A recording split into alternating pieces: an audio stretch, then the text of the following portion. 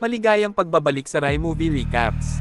Narito na naman tayo para sa isa na namang pelikulang pinamagatang The Beauty Tax. Ito ay patungkol sa isang lugar na kung saan magbabayad ka ng tax depende sa ganda ng mukha mo. Kaya't ano pa ang ating hinihintay? Sit back, enjoy and relax love you.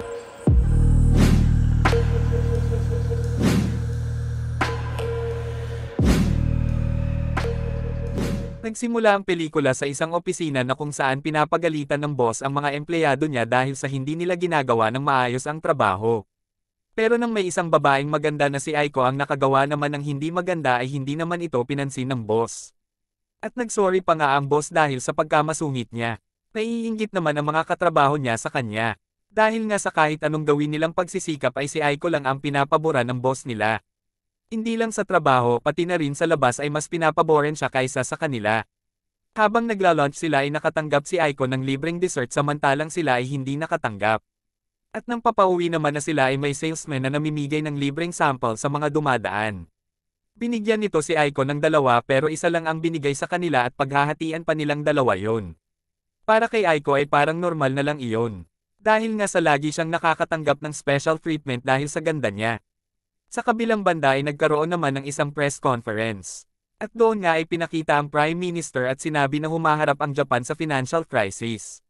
At naisip niya na solusyon para doon ay magkaroon ng tax ang bawat tao, depende sa taglay nilang ganda. Mayroon namang mga nagpre-proteste doon na hindi sang-ayon sa batas dahil sa nakaka-discriminate ito sa nakararami. Pero sumagot naman ang Prime Minister na nakakatanggap na ng napakaraming pribilehiyo ang mga magaganda. At ito ay nagiging unfair para sa mga pangit. At sinabi na nga niya na ipapatupad ito sa lalong madaling panahon. At kung sino man ang lalabag ay mapaparusahan. Isang araw ay may lalaking nag-alok kay Aiko na maging model sa isang beauty salon. Dahil nga sa naiinggit na ang mga kaibigan niya ay naisip na lang nilang iwan si Aiko. At sa sumunod na eksena nga ay nakita natin na napabalita nang ang napatupad na ang nasabing batas. Sumunod nun ay nang matapos na silang kumain ay nagbayad na ang mga kaibigan niya ng 1,000 yen para sa mga kinain nila. Pero nang si Aiko na ang magbabayad ay naiskan ang mukha niya at nakita natin na meron siyang 20% tax. Kaya magbabayad siya ng 1,200. Sumunod nun ay nang bumili naman siya ng mineral water ay mas malaki din ang binayaran niya dahil sa 20% tax niya. Pinakita naman na ang mga reporter ay nag-conduct ng interview patungkol sa beauty tax. At nalaman nila na halos lahat ay natutuwa sa batas na iyon. May isang lalaki na sinabi na nagbabayad siya ng malaki para sa magagandang babae. At patas lang kung kailangan nila magkaroon ng malaking tax. Sumunod nun ay isa naman pangit na babae ang na-interview at nasabi na maganda ang batas na ito. Sa ngayon ay marami na ang sumang-ayon sa beauty tax. Kinabukasan ay nakatanggap na ng sweldo si Aiko. Nagulat siya dahil sa pati pala sweldo ay makakaltasan din siya ng 20% tax.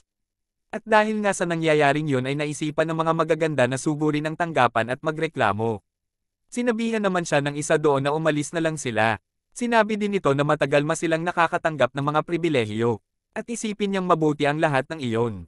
Doon nga ay naalala niya na nung bata pa siya ay nakabasag sila ng flower vase. Pero lahat sila ay pinagalitan maliban lang sa kanya. Sumunod naman nun ay nang nagkayayaan na kumain ang barkada niya ay.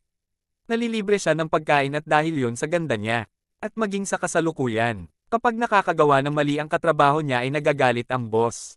Pero kapag siya ang nakagawa ay pinatatawad agad siya. At dagdag pa nga ng lalaki na reasonable ang batas dahil nagiging pantay ang trato sa lahat. Sinabi din nito na nare-recognize ng buong bansa ang kanyang ganda dahil sa mga standards na naiset ng gobyerno. Dahil nga sa mga nasabi ng lalaki ay naisip ni Aiko na may maganda ding naidudulot para sa kanya ang magkaroon ng 20% tax. Dahil nga sa nilabas na standards ay ang mga babaeng may matataas na tax ay kadalasan nakakatanggap ng mga imbitasyon mula sa mga lalaki para sumama sila na kumain at magpunta sa mga bar.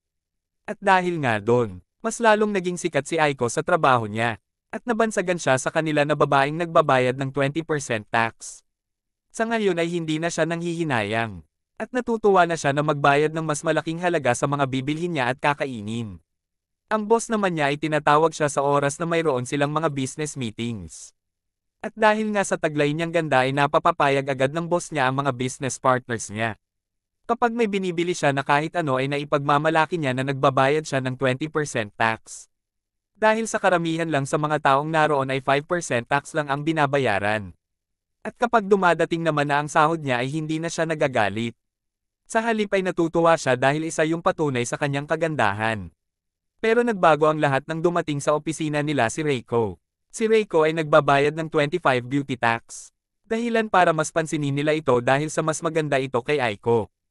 Ang mga kaibigan niya ay sinusundan si Reiko at nasasabi nila na wala pa silang nakikita na mas maganda kaysa kay Reiko. Nagalit naman dahil sa inggit si Aiko. Dahil nakuha na ni Reiko ang lahat ng atensyon at wala nang ni isang pumapansin sa kanya.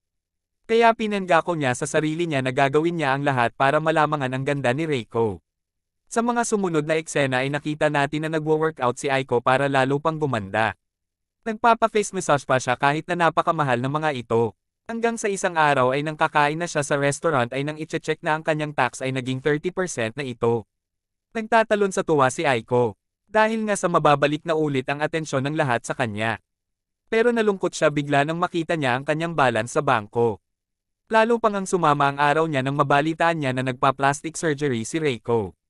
Nasa isip niya ay baka naging mas maganda na ulit ito sa kanya. Pero laking gulat niya nang makita niya na pinapangit pala niya ang mukha niya.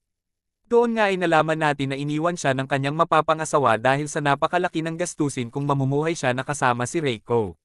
Sumunod nun ay pinatawag si Aiko ng kanyang boss at sinabihan na tatanggalan na siya nito ng trabaho. Nasabi ng boss niya na ang kumpanya nila ay magbabayad ng mas malaking tax kung marami silang trabahador na magaganda. Kaya wala siyang magawa kundi tanggalan ng trabaho ang magaganda. Sumunod nun ay napabalita naman na umuuso na ngayon ang mga products na pampapangit.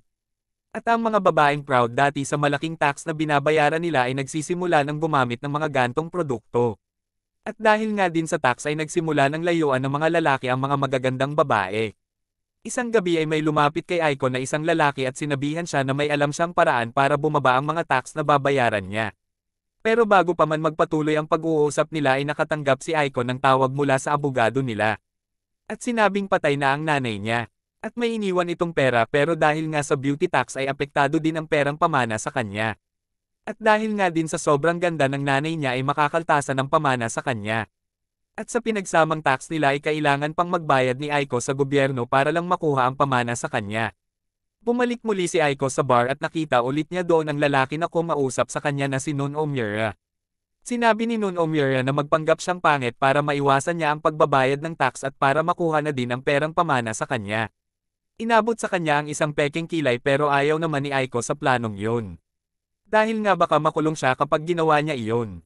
Pero sinabi naman ni Nun Omura na marami na ang gumagawa ng ganun kaya wala siyang dapat ipag-alala. Kinabukasan ay drenuwangan niya ang mukha niya ng peking kilat at itim-itim sa mukha. Naglagay din siya ng peking nunal at nagsuot siya ng mixing wig para maitago ang buhok niya. Nagulat ang tax officer nang makita siya nito. Doon nga ay sinabi na lang niya na simula nang mawala ang kanyang nanay ay nagsimula na siyang ma-stress dahilan para mapabayaan niya ang sarili niya. Nang maska naman na siya ng scanner ay nag-error ito. Dahilan para makuha niya ang pamana ng nanay niya nang walang binabayaran. Tuwang-tuwa naman si Aiko dahil sa nangyari. Dahil nga sa naisip niya na nalutas na ang problema niya. Tinawagan niya si Nun Omura at kwinento ang nangyari. Nai-congratulate naman siya nito at sinabihan siya na nais niyang ipakilala siya sa kanyang mga magulang. At kailangan nitong magpaganda. Akala naman ni Aiko na interesado talaga sa kanya si Nun Omura. Pinakita na nga na nag-aayos na si Aiko para sa napag-usapan nila ni Nun Omura. Pero bigla na lang may kumatok sa pinto niya. At nang pagbuksan niya ito ay agad siyang pinusasa ng mga pulis dahil sa pagpapanggap niyang pangit para makaiwas sa tax. Sinabihan siya ng pulis na si Nun Omura ay isang marriage swindler at ang tanging habol lang sa kanya ay ang kanyang nakuhang pamana. Dahil doon ay nakulong siya ng dalawang taon. At ang tanging kasama niya sa selda ay isang babae din na nagpanggap na pangit para makatakas sa beauty tax. Doon nga ay nasabi niya na sana ipinanganak na lang siyang pangit. At kung sana ay nagkaroon siya ng panggang ilong ay baka hindi siya makukulong dahil sa pagiging maganda. Pero nai-comfort naman siya ng kasama niya sa selda at napalakas nito ang kanyang loob.